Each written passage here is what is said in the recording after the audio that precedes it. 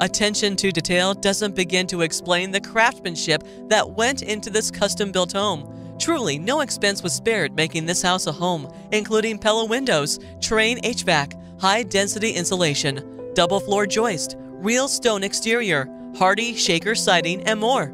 This home features five bedrooms, four and one half baths, an open equipped kitchen, covered front and back porches, finished walkout lower level, first floor laundry, and a circular driveway. Have any questions? Call Adam Hayhow to find out more.